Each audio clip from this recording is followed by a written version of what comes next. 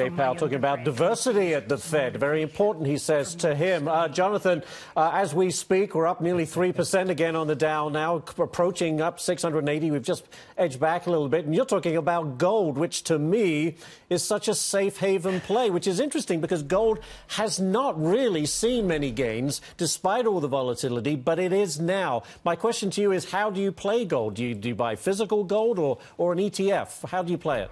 Well, I mean, you, you, you, what you wanted to play, Stuart, uh, excuse me, Stuart. That's okay. Ashley, and are, are we on BBC or are we on FX? I'm not sure exactly. Uh, you you want to play for you want to play for the long moves. You want to pay for those long moves. I mean, look at the gold bull run in the early 2000s. It went up basically every year for a decade. So when you're buying any investment, including gold, I think you want to play not for a 3%, 5% pop, but for a 30, 40, 50% pop. There's a number of ways to do it. GLD is an ETF, an exchange traded fund that tracks the price of gold. There's also innumerable gold stocks as well. And like the old saying goes, Ashley, a rising tide lifts all boats. Right. Just as all the FANG stocks were lifted in that bull market, if this is a bull market in gold, you'll see all those names do well as well. Is there anything else other than gold, though, Jonathan, where you're tempted to take a nibble at right now?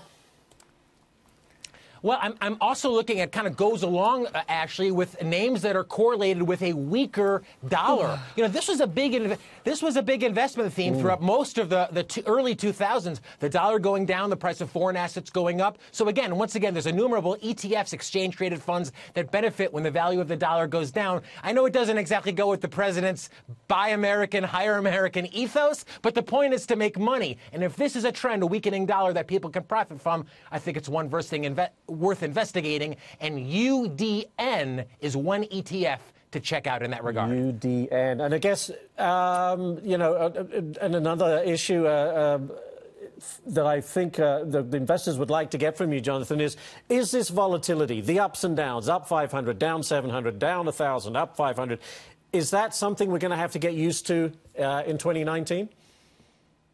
Uh, uh, yes, I mean there's there's two ways to look at it. Actually, in many ways, this is a return to more truly more normalized volatility. We we had a number of years there of really low volatility and a, and a very strong stock market. So in many ways, this is just a return to normal.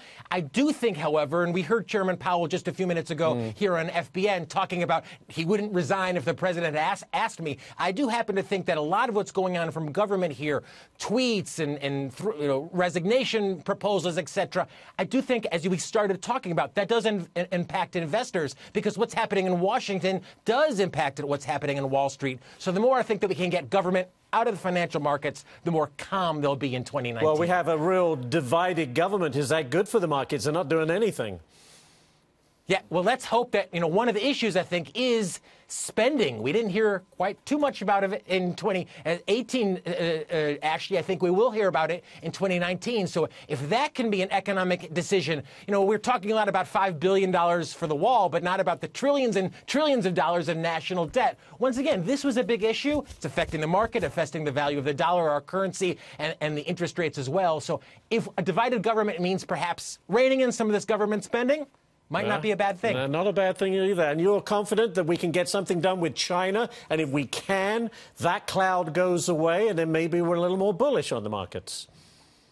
Yeah, I mean, certainly, uh, uh Query CEOs in 2018, and many, many of them, actually, as you know, talked about the, the trade tensions with China. Forget even the tariffs. We know that that's costing consumers billions and billions of dollars. The trade tensions with China impacting their bottom line. We heard from Apple, obviously, yesterday, uh, many of the car makers in 2018. So any resolution to this impasse, I think, without question, would be a benefit for the market and for every American.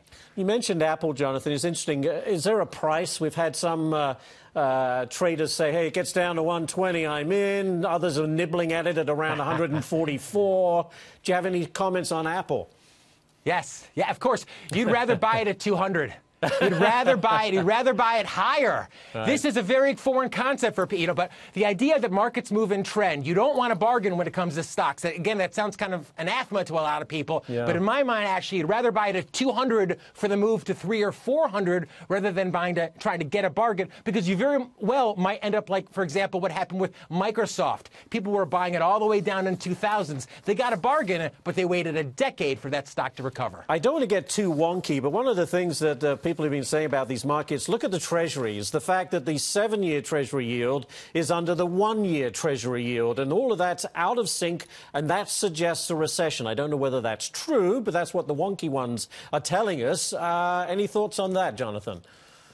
Well, there's been, I mean, a, a lot of uh, Americans have been talking about higher interest rates, right. but there's been a massive rally, as you know, Ashley, a rally in, in Treasury prices, meaning that interest rates have come down quite uh, precipitously. And as you said, inversions, oftentimes we've seen in the last couple of weeks, short term rates being higher than long term right. rates look, historically, this does tend to precede a recession, not to mention the terrible stock market in 2018. Mm. So, you know, it's another example of where price might be preceding the fundamental data that's yet to come. All right, Jonathan, thank you so much. You, you, have done a sterling job this morning of walking us through many issues. Uh,